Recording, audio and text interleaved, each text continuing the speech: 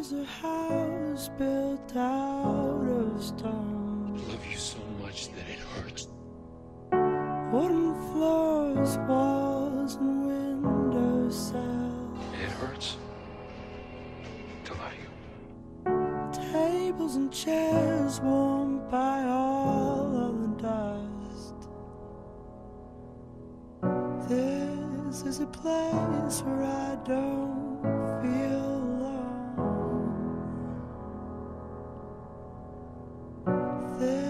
This is a place where I feel at home. Damn you. This is why it took me three years to tell you that I loved you. You thought I was scared to commit. I was scared of this. Scared of how much I loved you. Scared of the feeling that I'd never be able to find happiness without you. That's what I was scared of. I was scared of this this right here.